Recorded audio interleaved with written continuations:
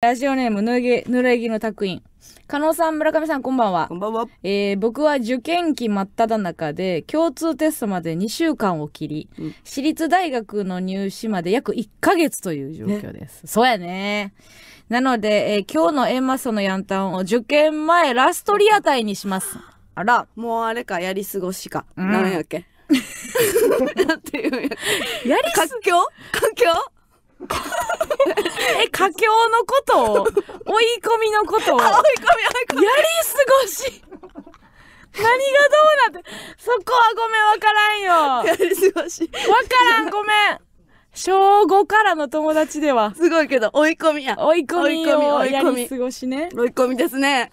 本当に申し訳ないです僕はこんなにも A マストが好きなのに北海道に住んでるため一度も A マストを生で見たことがありませんえ濡れ着の拓院ってよう聞くけどな確かに。生でないんや。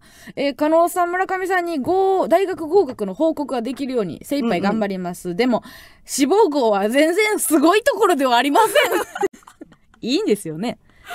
主観でええな、うんその自分がどれぐらい頑張らないかれへんところかっていうのはね。合格した際にはね、うん。電話しようや。電話しよう。その生電話はしよう。そうそう。まだ生で見れへんから。うんうん基本的に受験のその日は人と比べなあかんけど今志望校で頑張る段階では比べる必要はないからね、うんうんうん頑張ってくださいよこれリラストリアタイにするってことは今はもうペンも消しゴムも何も持ってへんってことやな今アホみたいに。ほうけ。